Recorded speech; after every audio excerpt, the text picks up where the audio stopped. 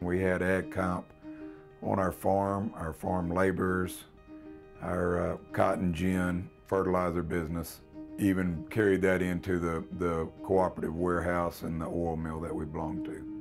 What I would find foremost is the security that it gives you as a business owner. It is the law, uh, compensation. If there's an injury, then uh, you're covered insurance-wise. Your employee is covered who you want. You want him to have the best treatment, get back to work as quick as they can. The number one goal is to have security. AgComp gives you security with a stable organization. Uh, number two is the rate, our rates are competitive with any other compensation program. And number three, we are a self-insured group, and so therefore any of the proceeds that are not used in the insurance part return back to the stockholders of the company.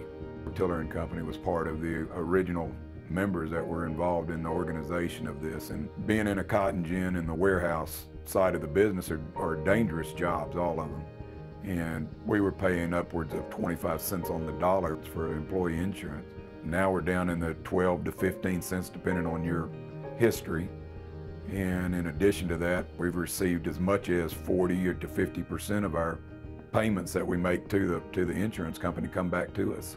Ag Council gave us a platform of membership where we had people that we knew and we were able to not only take them from Ag Council of Arkansas, which we had already worked together on politics and policy for agriculture in the state of Arkansas, but we were able to take this whole group of people and put into another business that's been very profitable to all of us and protecting our security. Well, Ag Comp's open to any agricultural related business in the state of Arkansas. So whether you're a one acre farmer or whether you're a, you know, thousand acre farmer, you're, you're eligible. I've known farmers that did not have workman's comp and an employee got hurt and they're taking twenty or thirty thousand dollars out of their pocket just to pay for a cut off finger that takes that much time and money to, to fix. If you hire employees, you need ag comp to protect your investment.